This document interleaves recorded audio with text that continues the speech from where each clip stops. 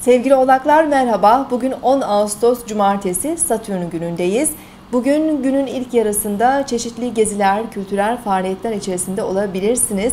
Ee, günün diğer yarısında ise aile büyüklerinizle zaman geçirebilir. Ee, onların e, bazı sorunlarıyla ilgilenebilirsiniz.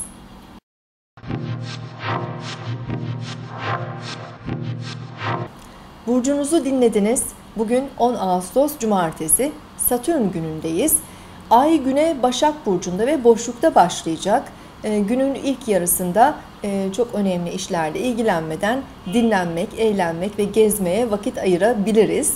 E, aile içi ilişkiler açısından da olumlu enerjiler söz konusu olacak.